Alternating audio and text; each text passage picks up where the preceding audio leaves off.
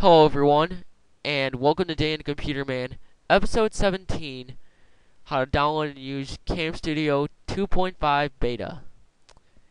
First, I'm going to tell you how you can download it. First, you have to open up your internet browser and then type in camstudio.org slash dev.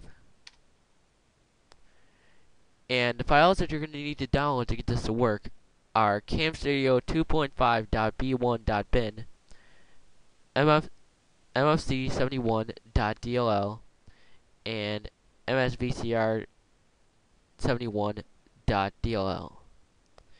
If you want to, you can download the source code right here and the multilingual user interface right here.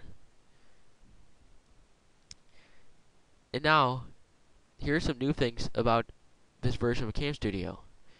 You can add annotations such as system timestamp caption, or a watermark.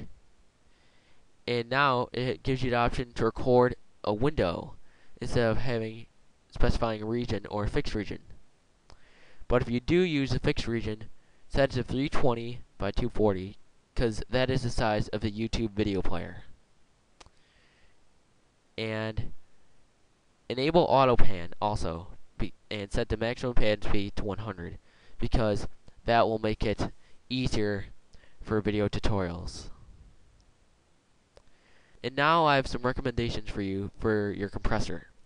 You should you should either use DivX or the Cam Studio lossless codec, which can download on cam, download from camstudio.org, and I'll provide the link to this in my video description.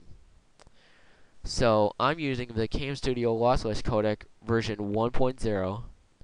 I have the quality set to 100 and I have it set to set keyframes every 120 frames, capture frames every 30 milliseconds, and the playback rate to 33 frames per second. And now, here are my recommendations for audio should you record with a microphone, which I'm doing right now.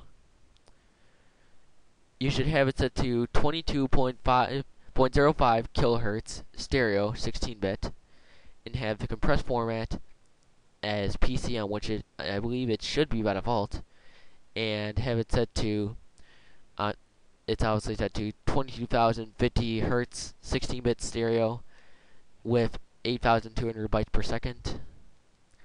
And for interleave video and audio, so you can have it the file compressed and as small as possible, set it to interleave the video and audio every one frame. By default, it's at 100 milliseconds. Okay, so that is about it. I hope you enjoyed this episode of Dan the Computer Man, and good luck on getting Cam Studio 2.5 beta.